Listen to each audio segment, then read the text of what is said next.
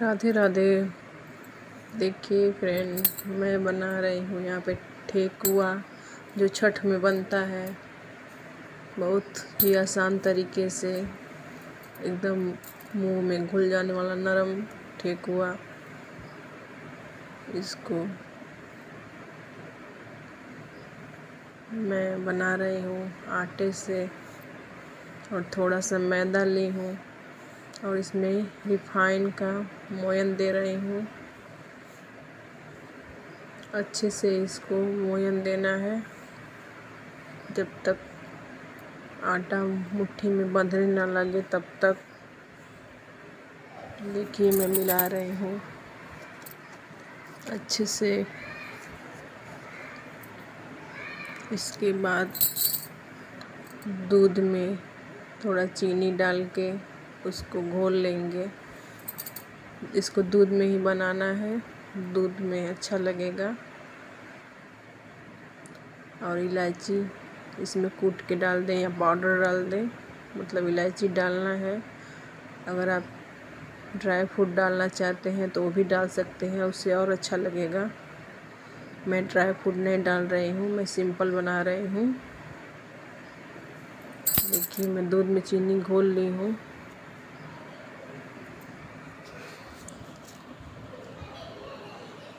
अब इसको मैं डाल रही हूँ। छाननी से छान ले रही हूँ ताकि इसमें कुछ हो ना। मैं इसको छान के और इसमें फिर मिलाऊँगी अच्छे से। गूथ लूँगी। एकदम बढ़िया सा नरम डो बन के तैयार हो जाएगा। और इसका ठेकुआ बहुत अच्छा लगेगा। आप छठ में इसको बना सकते हैं। छठ पूजा के लिए एकदम बेस्ट है। छठ में ठेकुआ बनता ही है। खस्ता अलग होता है, ठेकुआ अलग होता है। ठेकुआ नरम रहता है और खस्ता थोड़ा टाइट रहता है। एक खस्ता नहीं है ठेकुआ है। इसको ठेकुआ ही बोला जाता है। अब मैं इसकी छोटी छोटी लोई बना लूँगी। अब आप इसमें कोई डिज़ाइन कर सकते हैं या जो आता है सांचा उस पर भी ठोक सकते हैं। मैं हाथ से ऐसे चम्मच से डिज़ाइन बना लूँगी। देखिए, चम्मच की सहायता से मैं इसमें डिज़ाइन बना ले रही हूँ।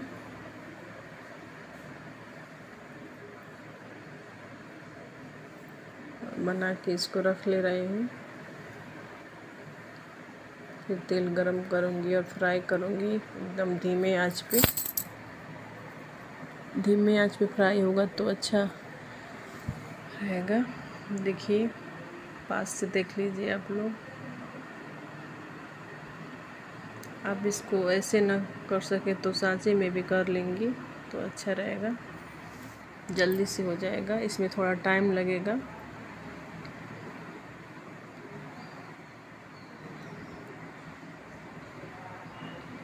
देखिए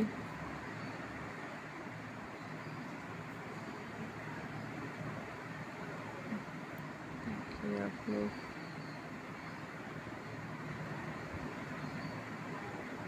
मैं ऐसे ही सब बना लूँगी। इसके बाद तलूँगी।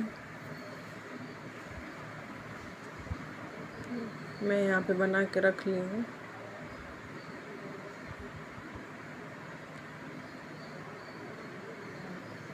दूध में इसको गूँथने से इसका मिठास अलग रहता है।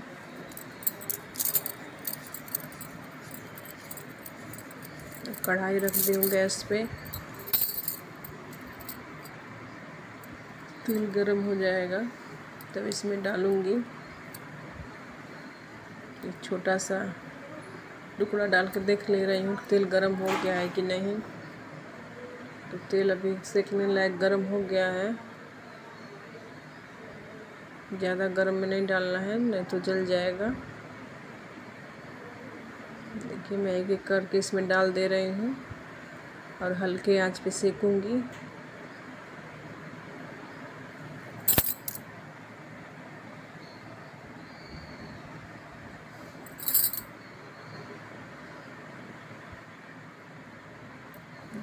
तब तक मैं इतना डाल दे रही हूँ और बाद में डालूँगी।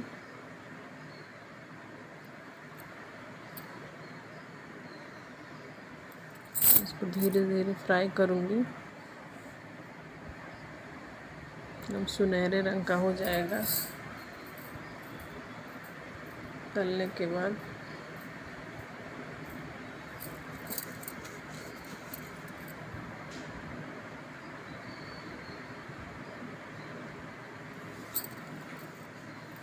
अगर आप लोगों को ठेकुआ पसंद आए तो मेरे चैनल को लाइक करिए सब्सक्राइब करिए कमेंट करिए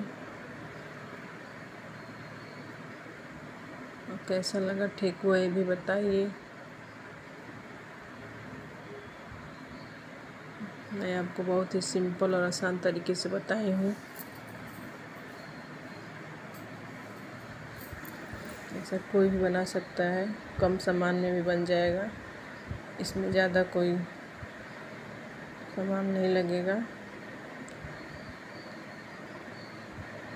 आटा और मैदा इसी से बनेगा। मैदा नहीं भी रहेगा तो बन जाएगा, सिर्फ़ आटे से भी बन जाएगा।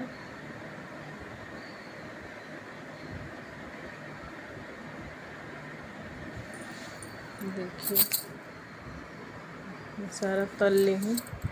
सुनहरा होने तक मैं इसको निकाल लूँगी। देखिए, यहाँ पे निकाल के रखी हूँ। ये गर्म भी अच्छा लगेगा और ठंडा भी अच्छा लगेगा। बाय